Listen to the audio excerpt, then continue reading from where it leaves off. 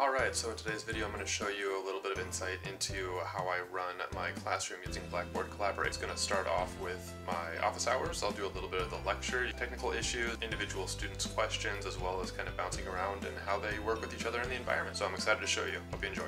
Alright, so this is just a quick little introduction on some of the software and interface that's been uh, going on with my class. So one thing you'll see is that right now I'm doing a uh, record of my entire screen. I'm using Zoom. You can get Zoom at zoom.us and download that. It's a nice free app that allows you to do video conference calls similar to Skype, but it's more of a professional interface. So it makes it uh, much better quality, in my opinion.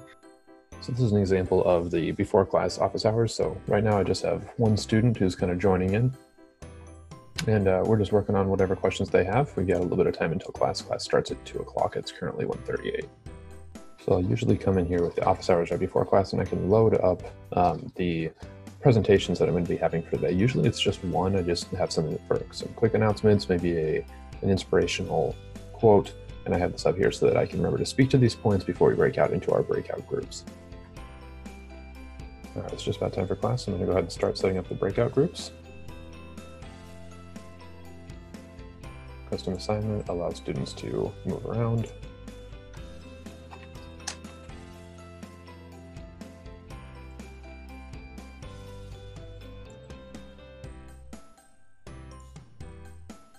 All right, everybody, and welcome. So we've got uh, a couple quick announcements before I give you your opportunity to break off into your groups. So today's quote for you all, mathematics is the music of reason. I choose this quote because the last two days you've been working through the extreme value theorem, you've been working through the mean value theorem, and in both of those situations, what you have is a lot of reasoning that has to take place. Uh, one thing about homework the written homework and the Khan Academy homework is due uh, tonight at midnight. So just a refresher, the written homework needs to be submitted on Blackboard in the assignments category.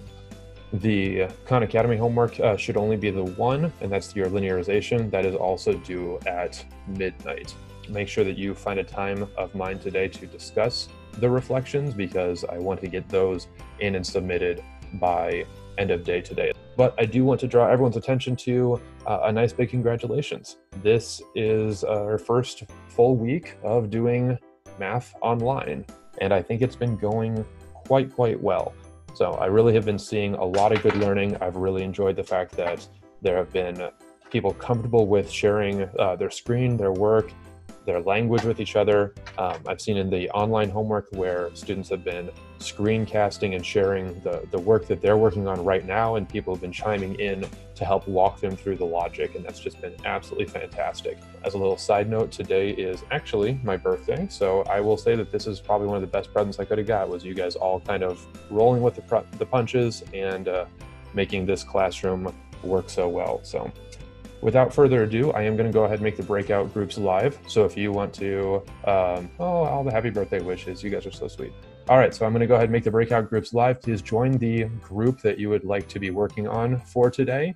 And then if you have any questions about um, your grades or the assignments, feel free to hang out in the main break room for just a little bit, and I'll be around to help out if you need.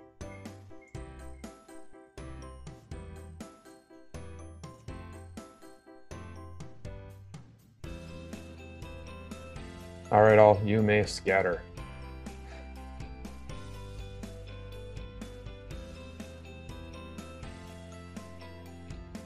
All right, James, are you hanging out for me?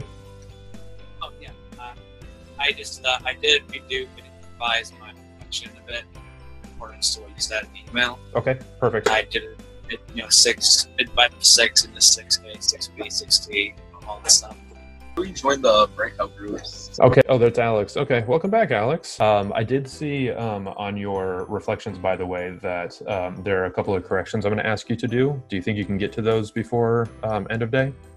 Yeah. Okay. You can go where where you submitted it online. You can click into that, and it'll show you um, your your submission, and it'll show you uh, some comments that I put on the side. Okay. And uh, the groups, there's just the red one and then the online homework? No, there's a couple. So you can click the bottom, uh, the two purple arrows in the bottom right hand corner of your screen.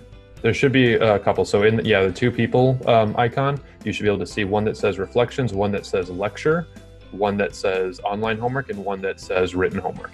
Now, uh, so you see them all? Yeah. Okay, so just you've kind of already seen everything on uh, Blackboard, so you can go into Blackboard and see what the lecture things are. I would recommend you do today, um, but just so you're aware, uh, those are just going to be posted for you to do anytime. So what I've been telling people um, as a recommendation is see if you can kind of flip the classroom for yourself, and then do the lectures outside of class, so that when you're in class, you can be working on the homework and then I can be helping you with the homework. Lectures are once in the week, so like week 10 and each of the days. Exactly. All right, that sounds all good. Thank you. Yeah, no problem.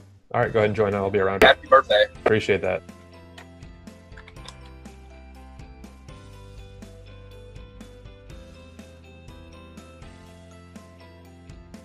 Hey, Marie, you got audio? One thing you can do if you do want to join with audio one thing you can do is you can actually join by phone. I don't know if you saw that feature, but you can go over in the My Settings and you can actually log in.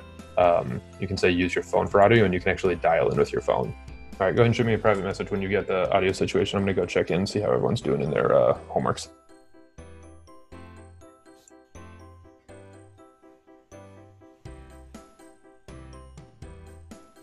All right, if there's nothing else, I'm going to go ahead and jump into the written homework then. Go ahead and uh, remember that you guys can raise your hand at the bottom of your screen if you want to flag me back over into this group. So what I'll normally do if I'm going to be limited to a digital workspace is I'll make sure that I've got the solution available here as a Word document, and then I can reference that pretty easily to keep up with what the student is saying they're working through. And I keep the problems relatively short so that I can see where the errors occur and we don't lose the concepts. I let the online homework that they do through Khan Academy be the ones that are a little bit more rigorous. Okay. All right, then after that, um, yeah, yeah, we have to get rid of that two, and the two M over D.